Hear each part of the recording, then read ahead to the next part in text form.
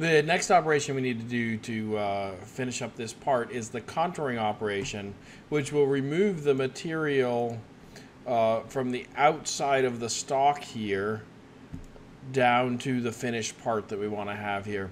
And so there's a, there's a, few things we have to do in order to create this contouring operation. Uh, the, the first thing is we have to create a chain feature that defines where we want that contour to be. And there's several ways that we can do this. Uh, what I'm going to do is I'm going to actually use what we call the part profile. So if you go to the, uh, the create features toolbar, go to the part profile dialog, and open that up here. So in our part profile, it tells us we want to select the part. And so I'm just going to select the solid model that defines the, uh, the part that we have here. I want to do a shadow, so that will actually project it at the, uh, at the plane of the XYZ axis here, at the plane of the, uh, the XY axis.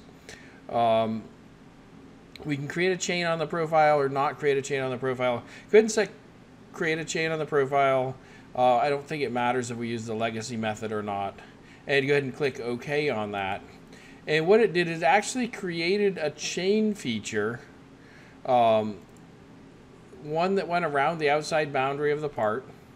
It created one for each of the through holes and for the through pocket. Now we don't need all of those. The only one we need is the one that goes around the outside boundary of the part, which on my list is chain number six. And just so I don't get confused later, I'm gonna go ahead and delete the other one. So and so I've got that part boundary here selected. We're going to select that, go back to our solid mill traditional toolbar, go ahead and select the contouring operation. Now sometimes we'll call this a side milling operation, but in Esprit they call it a contouring operation. And it's actually going to be really simple. We're going to go to the general tab. First, like any other operation, we're going to decide what tool to use. And we're going to use the, uh, the 3 8 inch end mill. Now, uh, we'll know that uh, our 3 8 inch end mill can go 6,000 RPM in the mini mill, which gets us to about just under 600 surface feet per minute.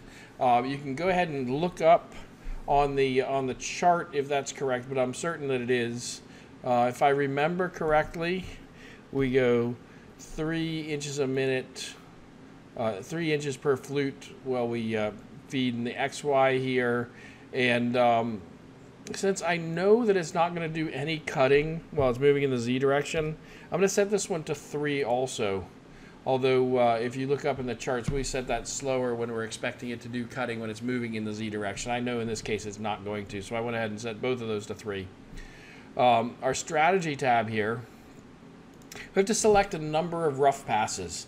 And so the number of passes that it has to use to go from the the stock material to the part is going to depend on the step over that we use. And we'll, uh, we'll actually get to put in that step over value as soon as we tell it that we want to do more than one pass. So let's just go ahead and tell it we want to do 10 passes. Um, and then it opens up our step over as a percent of diameter. And so uh, we actually want the tool to step over 25% of its diameter. And, uh, and so at 25% of the diameter, it probably won't take 10 passes to go from here to here. But what we can do is come down here to the stock automation, say stock automation trim, and then it won't make any extra passes. It will only, uh, it will only remove material where we want it to. So I've got my step over in, we're going to set it for 10 passes. We don't want to leave any stock allowance on the walls or on the floor our total depth here, now we have to decide what the total depth should be. And, and so we're going from the, uh, the top surface here where we've already actually faced off a little bit of that material, but that's okay. What I want to do is I want to go to the, uh, to the left view here, look at our part, and I actually want to turn the fixture on so that we can see where that fixture is. And so whatever we do, we don't want the tool to go beyond this level down here at the, at the fixture because then the tool would crash into the top of the vice jaw. The, uh, if I put my stock on, we can see that the stock is sitting down there and held in the vise.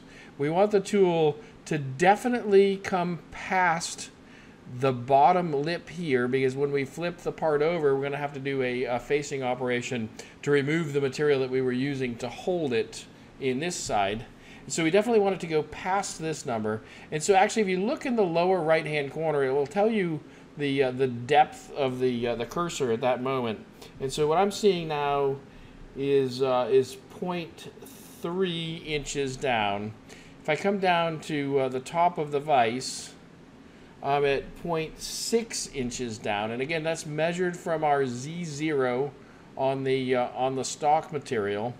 And so I want to be somewhere between 0.3 and 0.6. I'm going to go ahead and go 0.35 inches for my depth. 0.35 inches for my depth.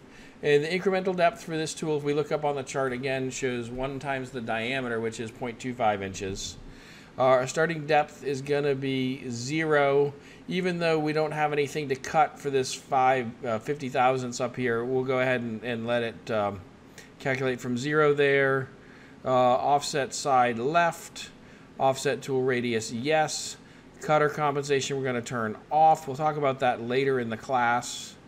Um, in the advanced tab, no, we don't need to do any of these fancy trochoidal moves. Uh, trimming, collapse, all this stuff looks good.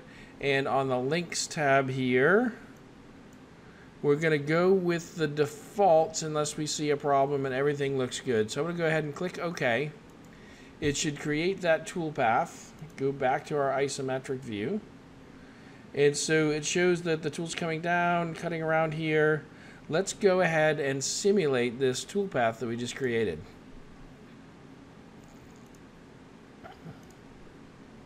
We run the simulation so it cuts off the corner here. And it does not come all the way down and run into the vice jaw, so that's a good sign. Go ahead and speed that up. and it looks like it has machined off that material there it's come down and we've got this half of the part created without crashing